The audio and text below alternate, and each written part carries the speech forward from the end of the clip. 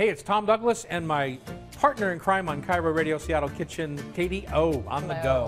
How are you doing today? Doing so good. So today we're going to talk about cast iron at the Hot Stove Society Culinary School.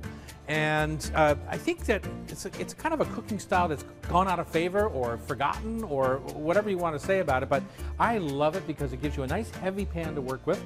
It works in a charcoal or wood fire. It works in your oven. It works everywhere in the kitchen. and it's pretty much unbreakable, let's be honest. You That can is have true. it'll outlast you. Right. And of course, they have the, the new fancy kind of uh, cast irons. They're not so new, but if you go to France or something, you'll see a Le Creuset or a Staub. These are KitchenAid, and these are cast iron, but with an enamel on the outside. I personally love the cast iron pans that come from my home because they didn't come from my home. They came from my mom's home, and then they came from my grandmom's home.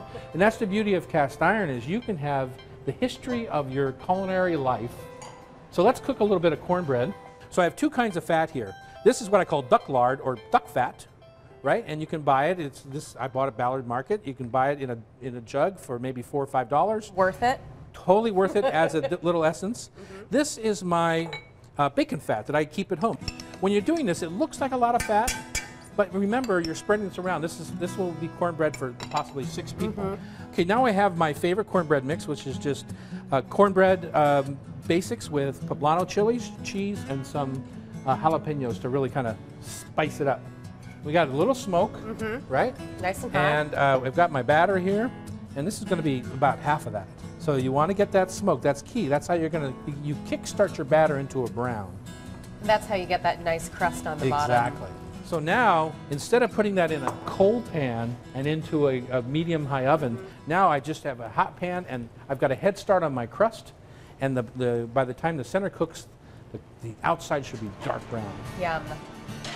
Right. So uh, our goal is that we get that nice brown without overcooking the center, right? So that's our key here. And that is when you call Tom Douglas over to flip it for you. Oh, there you go. You can see the steam coming off of it. Oh, it's beautiful. This gorgeous brown. Like this is as light as I like it. I could even have it a little browner.